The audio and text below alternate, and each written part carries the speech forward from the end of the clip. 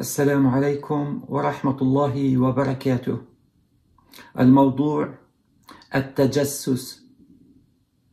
التجسس من الأخلاق القبيحة المذمومة.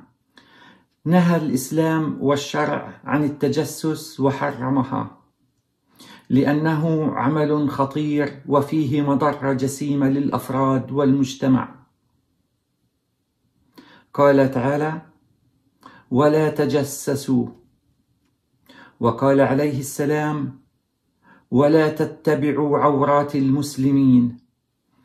فيجب عدم التجسس على بيوت المسلمين وكشف مسطورهم والاطلاع على عوراتهم وتتبع زلاتهم والسماع إلى حديثهم أو التنصت على هواتف الناس ومكالماتهم فيجب عدم البحث عن عيب وعورة أخيه المسلم ويطلع عليها بعد أن سطره الله.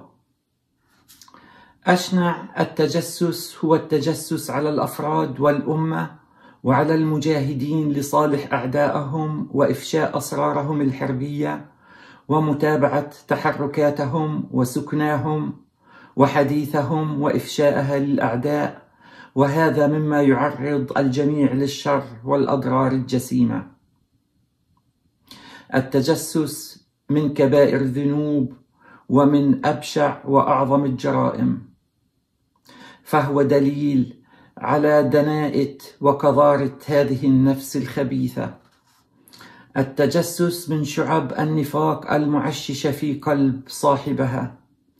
التجسس يدل على ضعف الإيمان بالله إنها من أعمال الشياطين.